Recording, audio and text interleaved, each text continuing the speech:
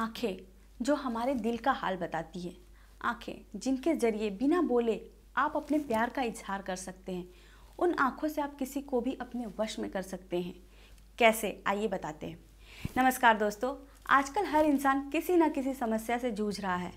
किसी माँ का बेटा उससे रूठ गया है, आपकी प्रेमिका आपसे रूठ गई है, या फिर आपकी जो प्रॉपर्टी है वह आपको नहीं मिल पा रही है। किसी ना किसी प्रॉब्लम में हर इंसान जीवन जी रहा है। लेकिन आज मैं आपकी हर समस्या का समाधान लेकर आई हूँ।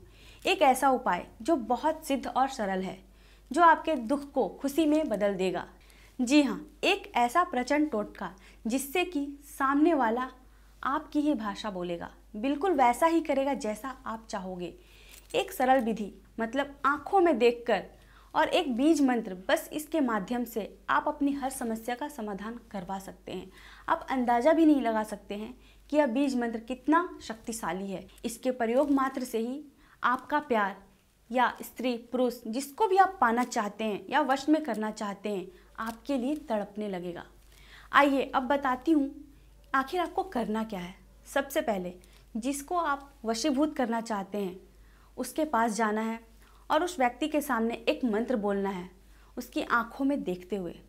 बस फिर देखिए, किस तरह वह व्यक्ति आपकी परछाई बनकर सिर्फ़ आपके साथ ही रहना चाहेगा।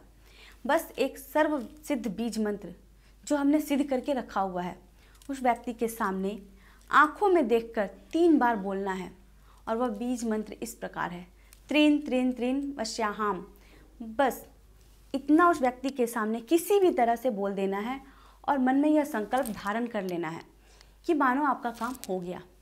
यकीन मानिए, वह व्यक्ति आपके लिए पागल हो जाएगा। विधि करने के आठ घंटे बाद वह व्यक्ति आपके पूरी तरह वश में हो जाएगा और आपको कहना मानने लगेगा। आप जो भी उससे चाहते हैं, वह करने लगेगा। तो दोस्तों, अगर आपको ये विधि समझ नहीं आई या आप इस विधि को करने में ठीक प्रकार से सक्षम नहीं हैं तो आप हमारे गुरुजी को कॉल या व्हाट्सअप करके संपर्क कर सकते हैं। यदि आपकी कोई भी समस्या है या किसी और टोटके के बारे में जानकारी चाहिए तो आज ही कॉल करें। बात करें हमारे गुरुजी से और पाएँ अपनी समस्या का निवारण। तो लीजिए, नंबर आपकी स्क्रीन पर दिखाया जा रहा है। आप सभी का जीवन खुशियों से भरा हुआ हो, यही दुआ करती हूँ।